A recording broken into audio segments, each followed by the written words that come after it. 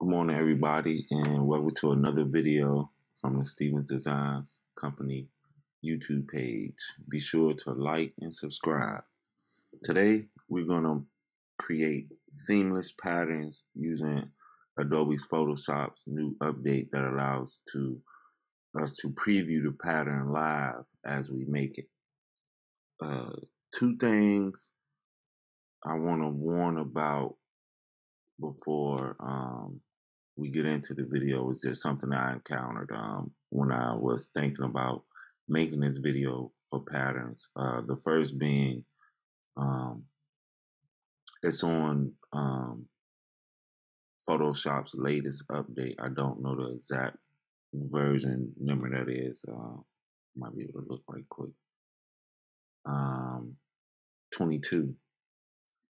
So, uh, you know, you want to make sure you got the latest update, but but to get the latest update, you also gotta have the new Mac update, which is uh the new Apple update, um, Big Sur, which came out I think uh um like in the beginning of May, something like that. Um in April. Um, you know, so those two things you need to be able to to preview the pattern live. We're gonna get into it. You don't. Another thing I want to want is for this to work. Um, you don't want to create this one too big of a document, like five thousand by five thousand pixels. Uh, it's pretty big. Uh, so just square thousand by thousand is fine. 300 DPI. Um, you can do it in either CMYK or RGB. Um, um, be in mind that uh, the the color that you choose for back the background will repeat uh, outside of the the, the artboard bounds. Um, we're gonna get into that. Um, let's get the white. Okay, so here you have, you know, uh, uh, oh yeah, it doesn't work in artboard mode. That's another thing. And a couple things that you might want to know um, is is limited as far as like doing the um, advanced effects like liquify um, and um, 3D. These will disable preview mode. Um, so it's best to work with like smart objects and not raster images. Um, um, brush strokes not too not too crazy. Uh, mm, what else? Um, just stuff like that. But it's it's it's still pretty good. Uh, I don't want to get too too deep into it not working. And the video is about using the patterns. So to enable pattern preview is pretty simple. You just you go up to view, go down, pattern preview. Here we got the warning about the smart objects. I don't need to see this because I make patterns all the time.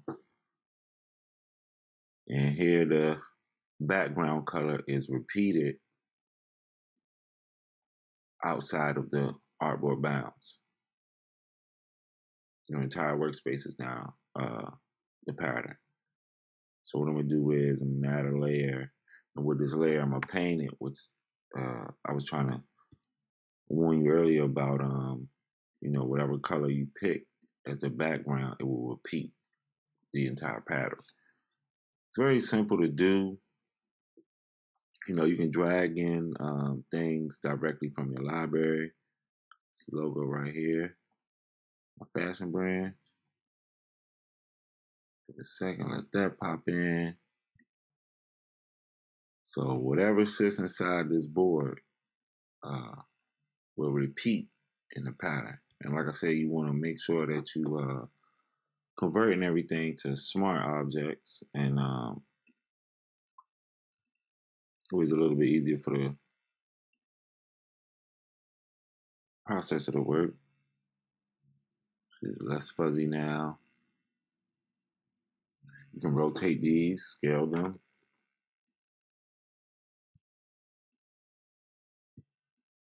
Repeat them. simple Command J on a Mac. Oh, excuse me. Mm, option drag.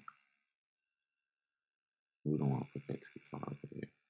So you might want to do something like that.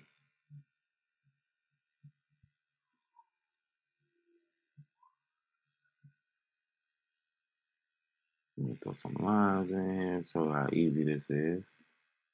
Paint a little bit on a brush. Got a brush on it. Brushes. Not a big paint, I'm more of a illustrator guy. Let me see what color we got some some white on here. X. Shift that background color to foreground. Whatever you draw, will repeat throughout the pattern. Think this is some kind of like hatch brush or something. Some free brushes I got uh online. You can zoom out, scale, see the pattern. This is freehand, like there's no thought of this at all. I'm just doing a couple different brush strokes. It's caveman brush. See what this does. A little bit bigger. Oh, no, what am I doing? Fingers down on it. Sorry about that. A little bigger brush. Let's do something like that. Like that we get there. Let's cover these rough spots up. Might do one less of these. Let's get rid of this copy layer. Take this layer. Let's take the shape.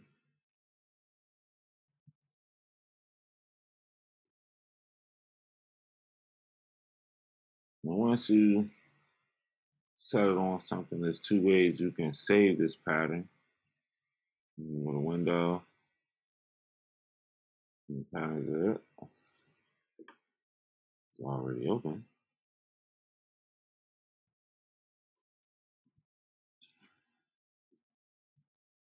Edit, define pattern, name it. My name is Pink. That's my brand name. And um, that's about it. Now to use the pattern, we're just gonna open another document. Background layer. We're gonna unlock it. Double click here. Pattern overlay. This pattern I made for someone else. Boom, there you go. Pattern. You scale it, whatever size you need. Pattern exists.